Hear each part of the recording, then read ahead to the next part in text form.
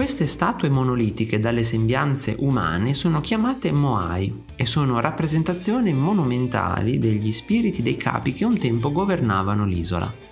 Rapa Nui è il nome dato all'isola dalle popolazioni indigene polinesiane, che ha ispirato anche un celebre film, ma oggi è conosciuta come Isola di Pasqua per ricordare l'arrivo del primo occidentale sull'isola il giorno di Pasqua del 1722 si pensa che il Moai più antico risalga al 700-850, anche se la maggior parte di queste sculture fu realizzata tra il 1050 e il 1500.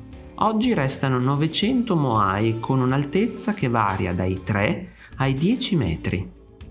Sono delle enormi teste con spesse sopracciglia, lineamenti schiacciati, grandi cavità oculari e mento sporgente, questi volti, dall'aspetto fiero, sovrastano un busto lungo e braccia in bassorilievo, aderenti al corpo.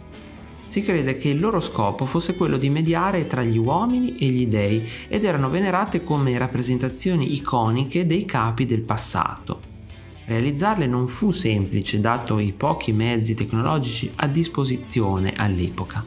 Usando picconi di basalto, abili artigiani scolpirono i Moai nella roccia vulcanica giallo-grigia del cratere del vulcano Ranuraraku.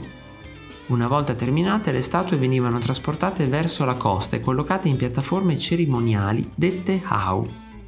Alcune teorie ipotizzano che il trasporto sia avvenuto facendo dondolare i Moai, proprio come se camminassero e in effetti gli stessi abitanti dell'isola credevano che le statue si spostassero da sole fino a raggiungere il proprio Hau.